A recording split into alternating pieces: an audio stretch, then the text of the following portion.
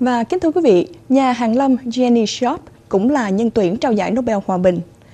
Ông Jenny Sharp đã viết sách hướng dẫn các cách để tranh đấu bất bạo động để lật đổ các nhà độc tài và được coi là đã tạo ảnh hưởng lớn cho những người tranh đấu lật đổ Tổng thống Hosni Mubarak trong năm 2011.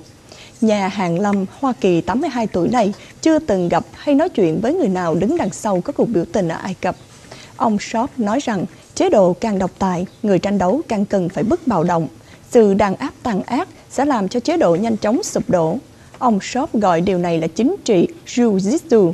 Giám đốc Christian Berg Hopviken của Viện Nghiên cứu Hòa bình Oslo nói rằng ông Shop là nhà tư tưởng lớn nhất trong việc tranh đấu bất bạo động. Những cuốn sách của ông Shop trong đó có cuốn Từ độc tài tới dân chủ và hành động chính trị bất bạo động được coi là đã đóng góp rất lớn cho phong trào sinh viên Serbia năm 2000 lực độ Tổng thống Slobodan Milosevic. Ông Shop là sáng lập viên Viện Albert Einstein ở Boston. Well, it has been used where it has been effective, where it has failed.